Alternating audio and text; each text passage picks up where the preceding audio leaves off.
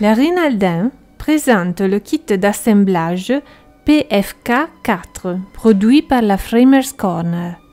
La vidéo a été montée par la Framers Corner.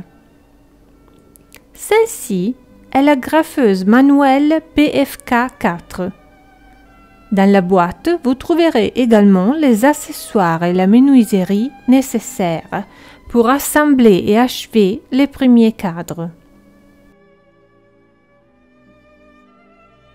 Celui-ci est l'étau sur lequel on doit positionner les deux côtés du cadre.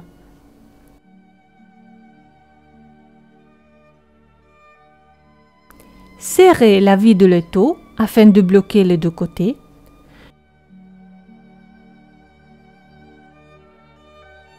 Tournez l'étau et le positionnez contre le coin. Il y a deux fermetures de position, une intérieure et une postérieure, qui doivent être fixées en juste position sur la base de la largeur de la baguette.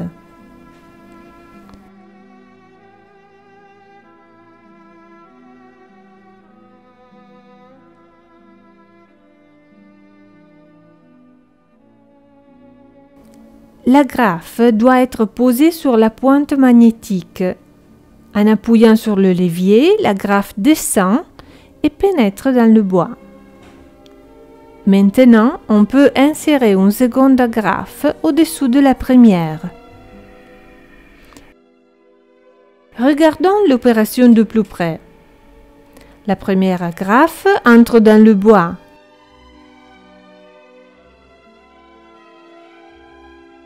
Ensuite, la seconde, juste au-dessous de la première. Et voilà le résultat. Afin de mieux renforcer le cadre, insérez encore deux agrafes sur le coin.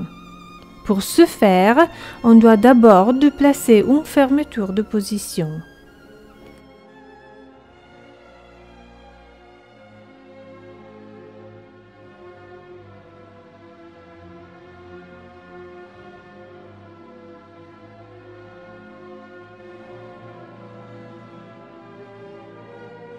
Après avoir terminé le coin, desserrez le vis qui le bloque et insérez les agrafes sur les autres coins du cadre.